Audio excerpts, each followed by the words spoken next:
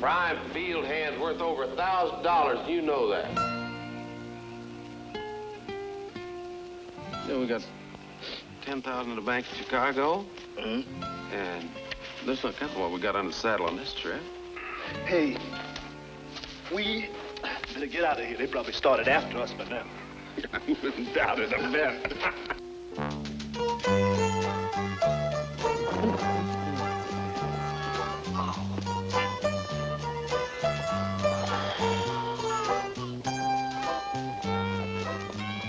hey, Quincy. Quincy. Yeah, Hey, how about if we stop for a while? we just did.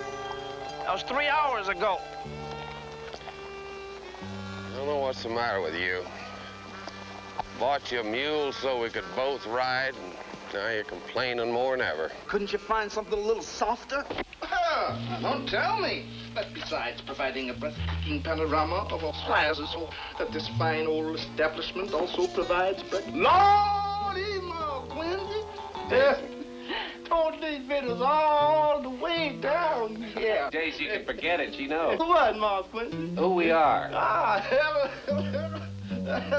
wonderful. So, for $400, had no call sell me off that way, Moss Quincy. I never done did you know.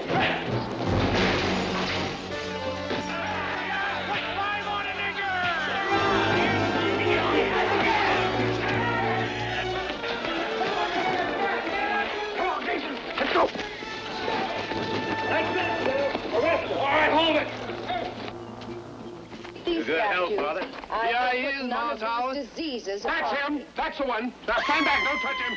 That's him.